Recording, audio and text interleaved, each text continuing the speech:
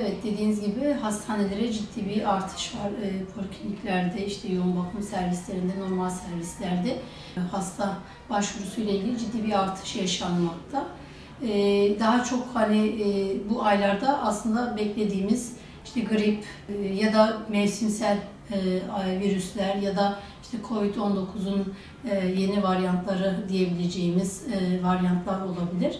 E, şu an salgın olarak nitelendiriyoruz. Hani yeni bir varyant mı değil mi? Tabii bunu araştırmak gerekir. Hani bunun için bazı veriler gerekiyor. Ama e, şu an hakikaten ciddi bir salgın görmekteyiz. Daha çok hastalarımız kuru öksürük, e, göğüs ağrısı, kas, adele ağrıları, eklem ağrıları, baş ağrısıyla e, bize başvurmakta. De şu an için gördüğümüz semptomlar ara ara ateş söylenmekte. İşte daha çok dediğim gibi en çok kuru öksürük e, şikayeti mevcut şu an için.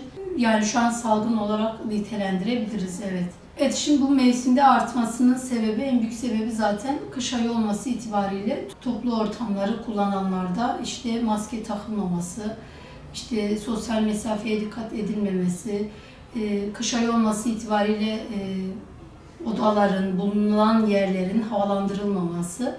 Hani bunlar önemli etkenler. E, tabii bunlara dikkat ettiğimiz müddetçe korunmak mümkün olabilir. Hani yüzde yüz olmasa da biz yine diyoruz hani her zaman e, mutlaka e, toplu ortamlara mecbur olmadığımız müddetçe girmeyelim. Girdiğimizde maske kullanalım.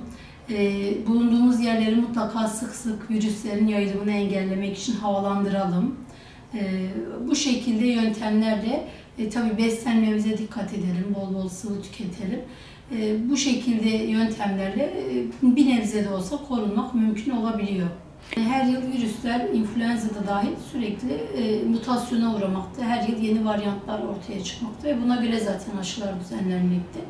Tabii ki hani COVID'in yeni varyantları olabilir ama hani bunu diyebilmek için e, elimizde veri olması gerekiyor, araştırmalar olması gerekiyor.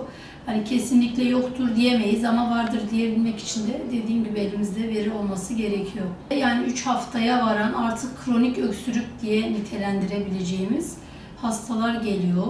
Ee, işte biz uzun bir süre uzamış Covid'den bahsettik. İşte bir ayı aşkın e, sürede bu şikayetlerin devam etmesi halinde uzamış Covid diye bir terim getirildi tabii. E, şu anda da evet yani maalesef 3 haftayı aşkın sürelerde işte hastaların şikayetlerinde artım olmakta ya da hasta toparlıyor gibi olup tekrar şikayetler yeniden başlamakta. E, ama evet ciddi bir e, salgın var gerçekten. Bunun bundan korunmanın en önemli e, yolu da dediğim gibi e, bu söylediğimiz şeylere dikkat etmek.